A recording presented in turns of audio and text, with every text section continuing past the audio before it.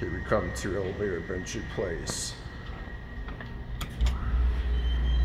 It's a Dover.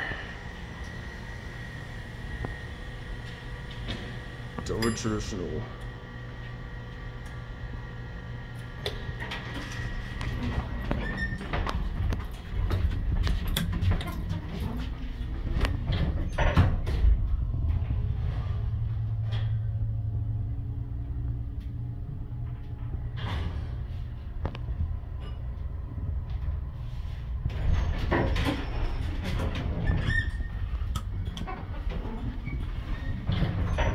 What's the return button do for?